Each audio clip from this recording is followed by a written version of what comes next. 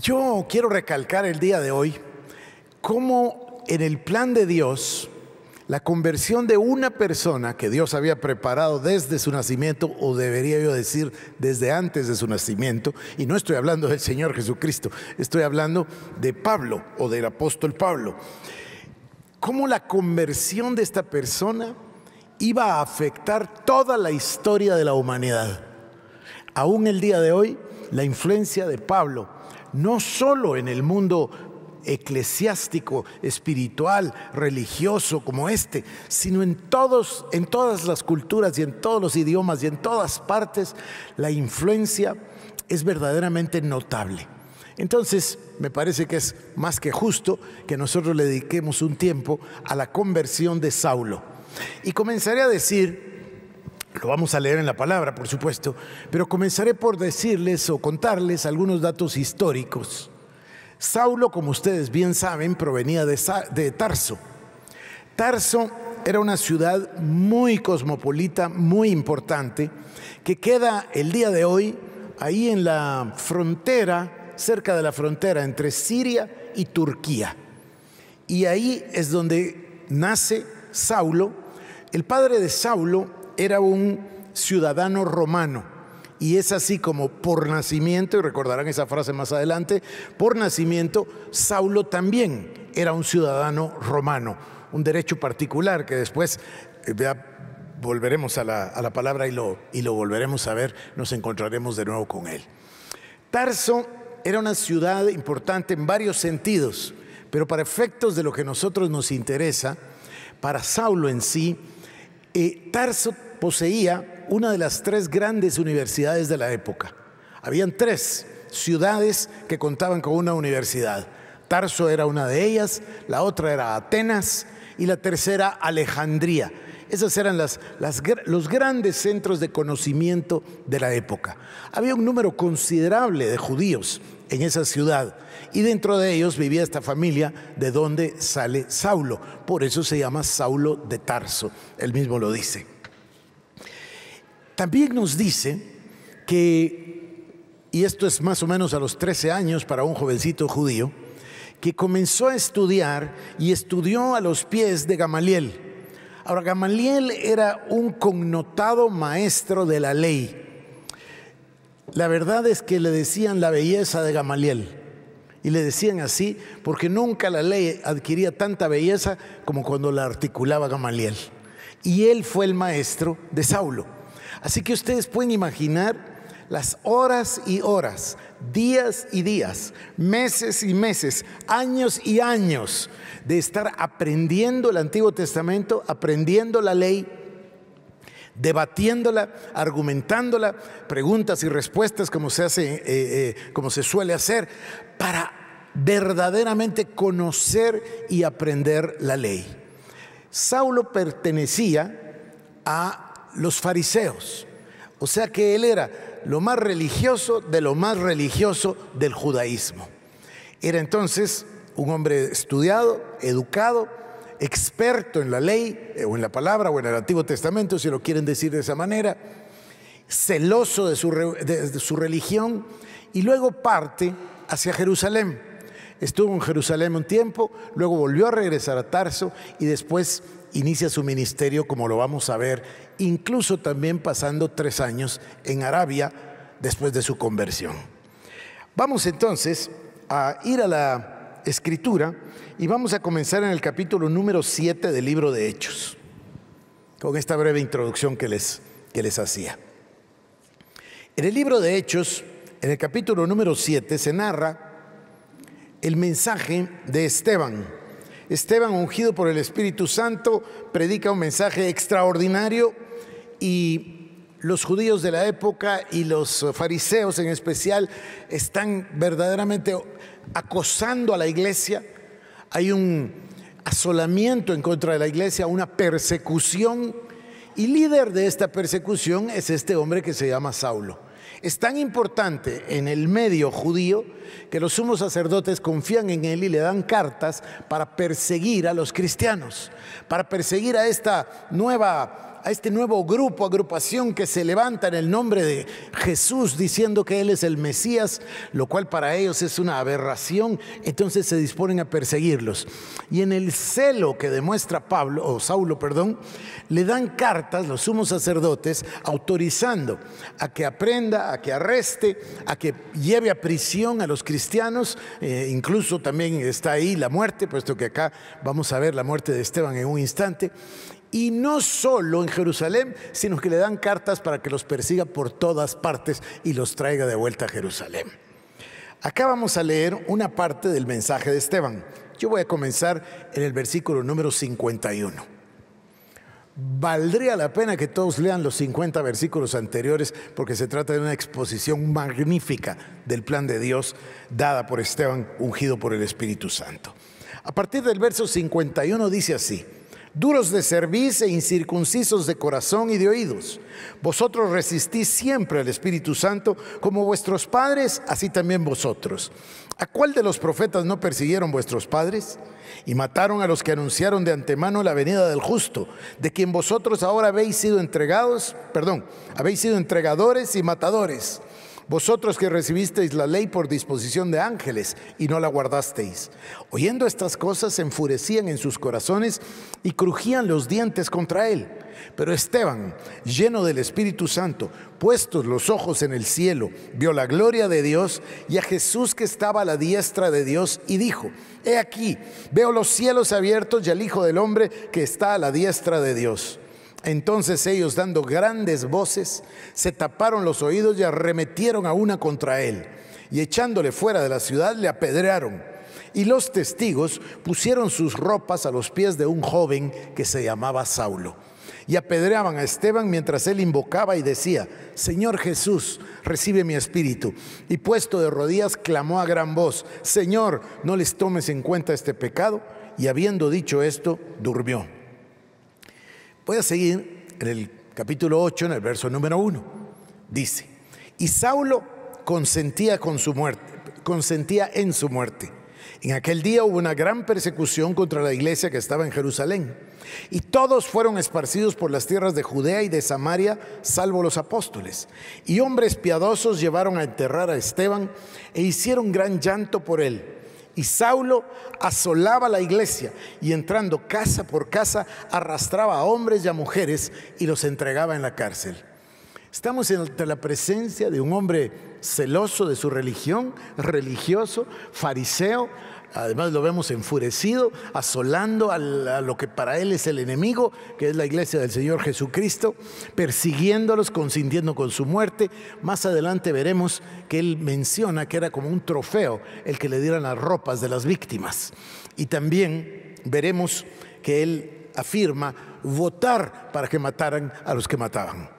Vamos al capítulo número 9 y nos vamos a encontrar aquí con uno de los pasajes más maravillosos eh, y ya ustedes ven el título que dice La conversión de Saulo.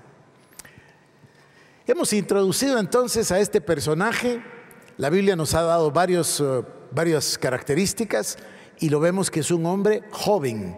Además vemos que es celoso, fariseo, estudió bajo Gamaliel. Vamos a continuar. Yo espero que los pasajes que leamos hoy nos den un panorama completo. Capítulo 9.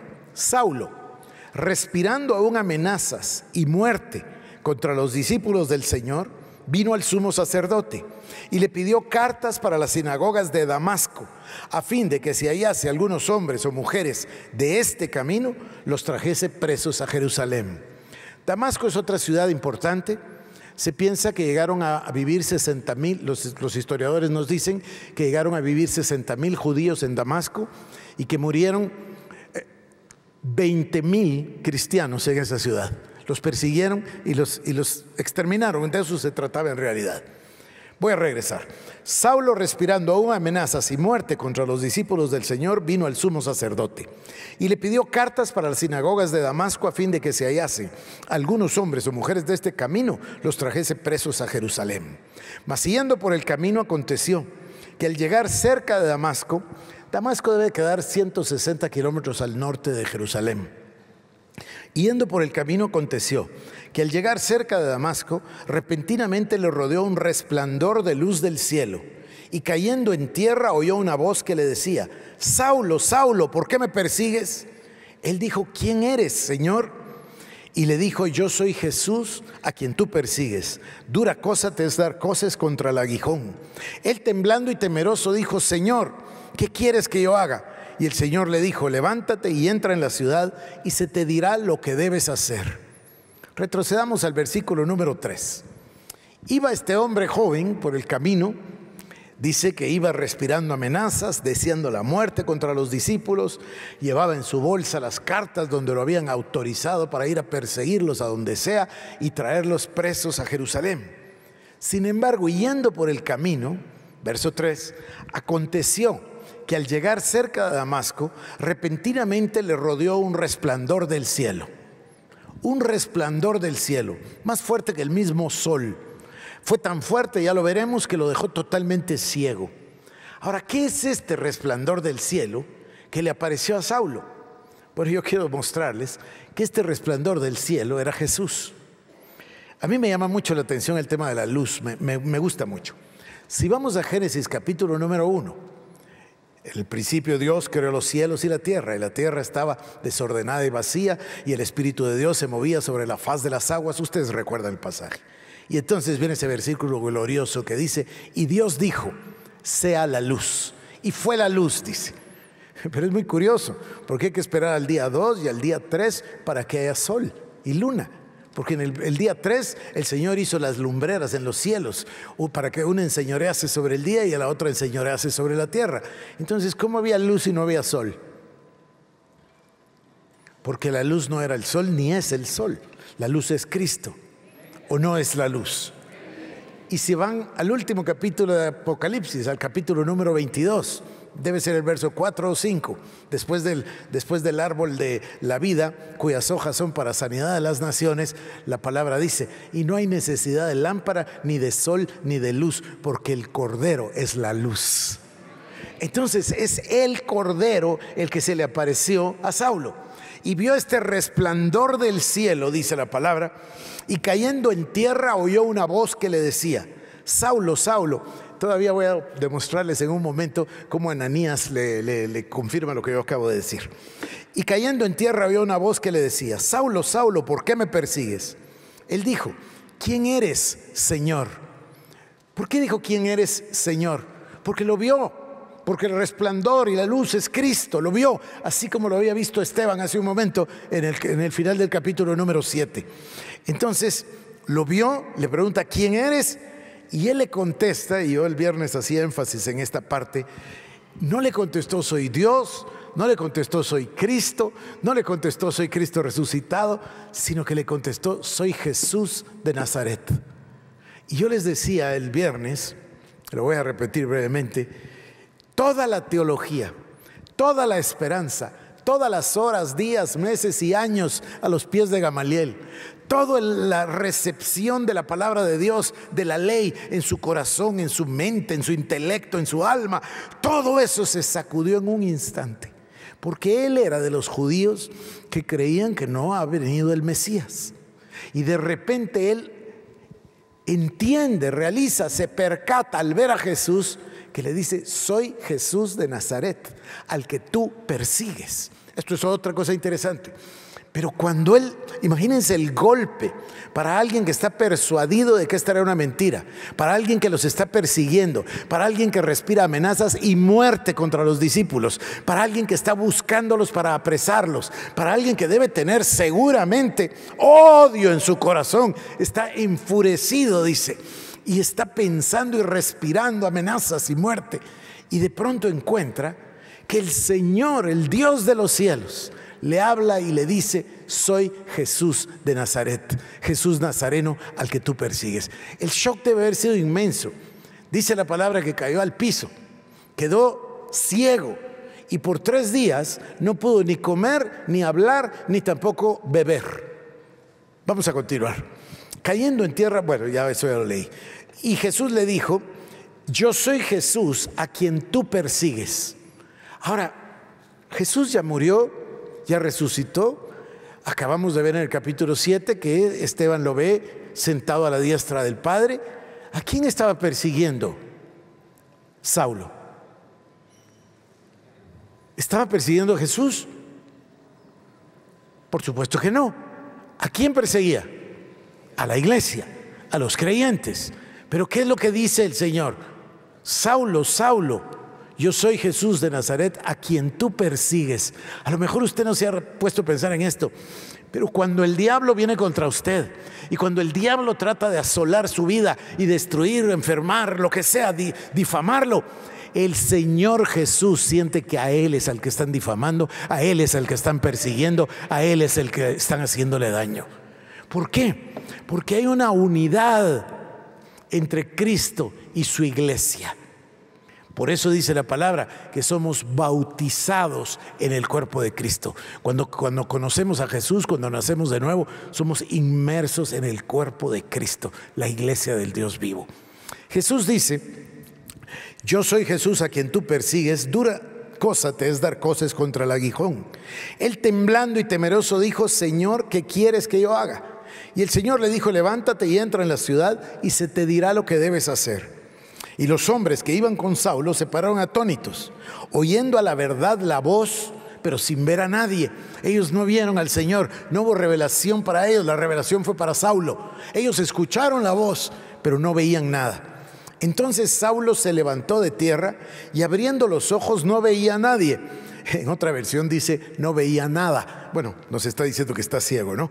Así que llevándole por la mano le metieron en Damasco, donde estuvo tres días sin ver y no comió ni bebió. Había entonces en Damasco un discípulo llamado Ananías, a quien el Señor dijo en visión, Ananías. Y él respondió, heme aquí, Señor. Y el Señor le dijo, levántate y ve a la calle que se llama derecha y busca en casa de Judas a uno que se llama Saulo de Tarso, porque he aquí que él ora. Y ha visto una visión perdón, ha visto en visión a un varón llamado Ananías que entra y le pone las manos encima para que recobre la vista. Entonces Ananías respondió, Señor, he oído de muchos acerca de este hombre, cuántos males ha hecho a tus santos en Jerusalén, y aún aquí tiene autoridad de los principales sacerdotes para prender a todos los que invocan tu nombre. El Señor le dijo, ve, porque instrumento escogido me es este para llevar mi nombre en presencia de los gentiles y de reyes y de los hijos de Israel, porque yo le mostraré cuánto le es necesario padecer por mi nombre.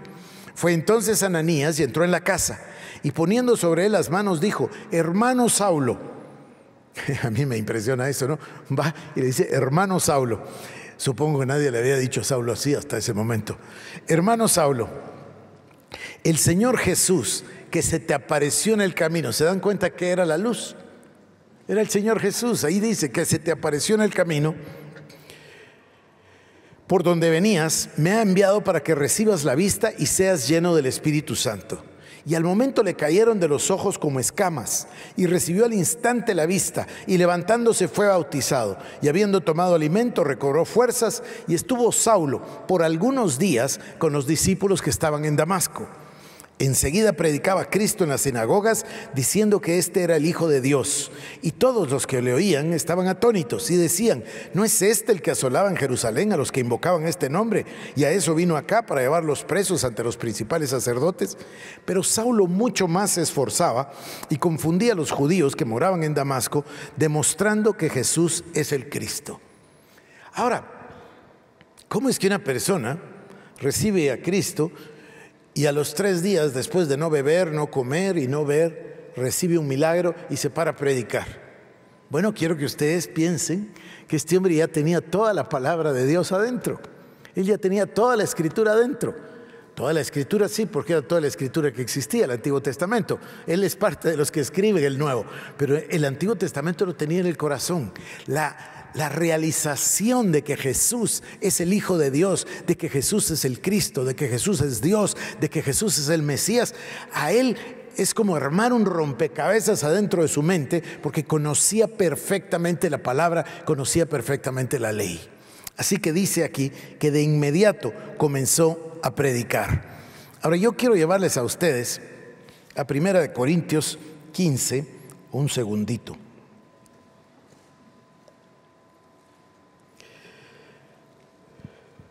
Dice, voy a leer desde el 3. Primeramente os he enseñado lo que asimismo recibí, que Cristo murió por nuestros pecados conforme a las Escrituras, y que fue sepultado, y resucitó al tercer día conforme a las Escrituras, y apareció a Cefas, y después a los doce. Y después apareció a más de 500 hermanos a la vez, de los cuales muchos viven aún y otros ya duermen. Después apareció a Jacobo, después a todos los apóstoles y al último de todos, como un abortivo, me apareció a mí, porque soy el más pequeño de los apóstoles. O sea, para mí está clarísimo que fue el Señor Jesucristo en persona el que estaba en esa luz y que pudo eh, y que bendijo de esta manera a Pablo. Acompáñeme ahora al libro de Hechos de los Apóstoles, capítulo número 22, 22. Y dejemos que la escritura y el mismo Pablo nos cuente lo que vivió. Estoy en el capítulo número 22 y en el verso 6. Dice, pero aconteció que yendo yo, ah, perdonen, mejor leamos lo completo, comenzaré en el 1. Varones hermanos y padres, oíd ahora mi defensa ante vosotros. Y al oír que les hablaba en lengua hebrea, guardaron más silencio y él les dijo, yo de cierto soy judío, nacido en Tarso de Cilicia, pero criado en esta ciudad, instruido a los pies de Gamaliel, estrictamente conforme a la ley de nuestros padres, celoso de Dios como hoy lo sois todos vosotros. Perseguía yo este camino hasta la muerte, prendiendo y entregando en cárceles a hombres y mujeres como el sumo sacerdote también me es testigo y todos los ancianos de quienes recibí cartas para los hermanos. Y fui a Damasco para traer presos a Jerusalén, también a los que estuviesen ahí para que fueran castigados. Pero aconteció que yendo yo al llegar cerca de Damasco como a mediodía, de repente me rodeó mucha luz del cielo y caí al suelo. Y oí una voz que me decía, Saulo, Saulo, ¿por qué me persigues? Yo respondí y le dije, ¿quién eres, Señor? y me dijo, yo soy Jesús de Nazaret a quien tú persigues. Y los que estaban conmigo vieron a la verdad la luz y se espantaron, pero no entendieron la voz del que hablaba conmigo. Y dije, ¿qué haré, Señor? Y el Señor me dijo, levántate y ve a Damasco, y ahí se te dirá todo lo que está ordenado que hagas. Y como yo no veía a causa de la gloria de la luz, llevado por la mano por los que estaban conmigo, llegué a Damasco. Entonces uno llamado Ananías, varón piadoso según la ley, que tenía buen testimonio de todos los judíos que ahí moraban, vino a mí y acercándose me dijo, hermano Saulo, recibe la vista. Y yo en aquella misma hora recobré la vista y lo miré. Y él dijo, el Dios de nuestros padres te ha escogido para que conozcas su voluntad y veas al justo y oigas la voz de su boca porque serás testigo suyo a todos los hombres de lo que has visto y oído. Ahora pues, ¿por qué te detienes? Levántate y bautízate y lava tus pecados invocando su nombre.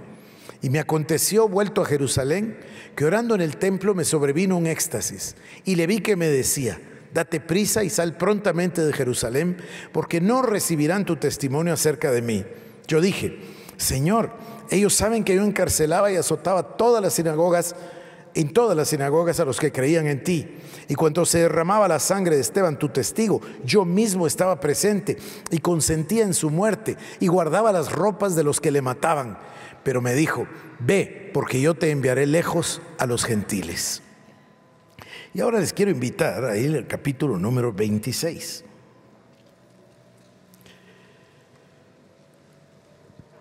Es otro relato de las plumas de los labios del apóstol. Dice así, versículo 4. Mi vida pues desde mi juventud, la cual desde el principio pasé en mi nación, en Jerusalén, la conocen todos los judíos, los cuales también saben que yo desde el principio, si quieren testificarlo conforme a la más rigurosa secta de nuestra religión, viví fariseo. Y ahora por la esperanza de la promesa que hizo Dios a nuestros padres, soy llamado a juicio promesa cuyo cumplimiento esperan que han de alcanzar nuestras doce tribus, sirviendo constantemente a Dios, de día y de noche. Por esta esperanza, oh rey Agripa, soy acusado por los judíos. ¿Qué? ¿Se juzga entre vosotros cosa increíble que Dios resucite a los muertos? Yo ciertamente había creído mi deber hacer muchas cosas contra el nombre de Jesús de Nazaret, lo cual también hice en Jerusalén.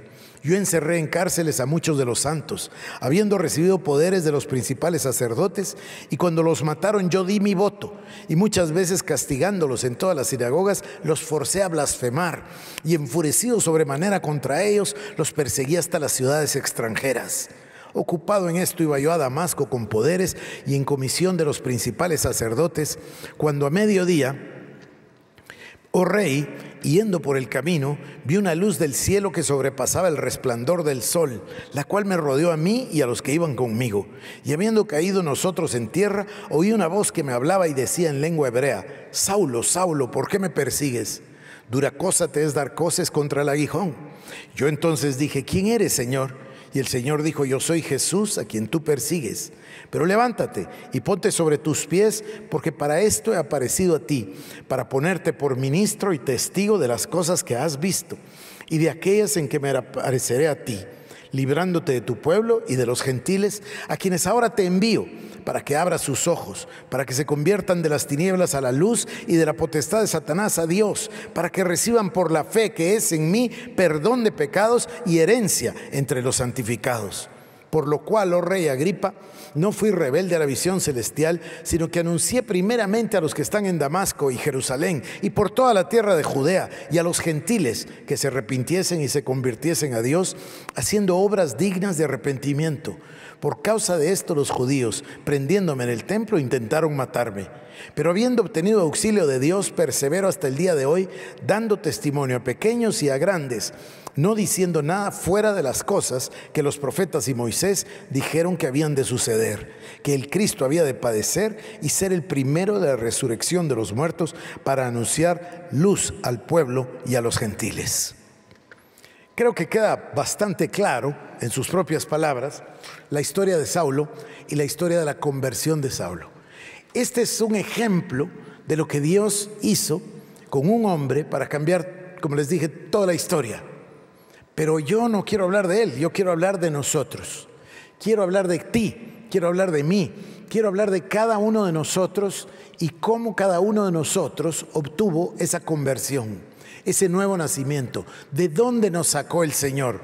A lo mejor y nosotros no estábamos realmente pensando en matar a nadie, ni tampoco estábamos persiguiendo a nadie, o tal, vez, o tal vez no estábamos persiguiendo a la iglesia, pero Dios Todopoderoso tuvo misericordia y nos salvó y nos rescató.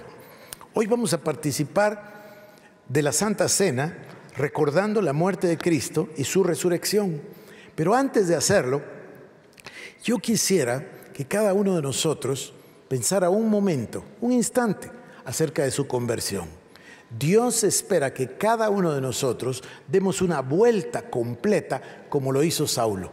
Si ustedes piensan en Saulo respirando amenazas, eh, muerte, eh, amenazando, todo, todo lo que él mismo dice, y luego se dan cuenta que este hombre escribió 13 de los libros del Nuevo Testamento, ustedes se dan cuenta que nuestra teología viene de ahí, de Pablo.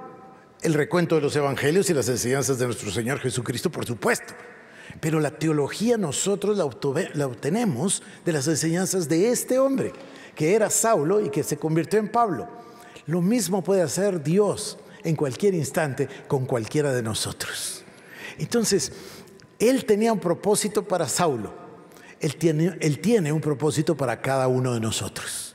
En esas palabras extraordinarias, no las voy a leer hoy, pero ya las mencioné antes, donde dice, no es que yo ya lo haya alcanzado, pero eso sí, ciertamente, dejando todo lo que queda atrás, prosigo hacia adelante, hacia la meta del supremo llamamiento en Cristo Jesús.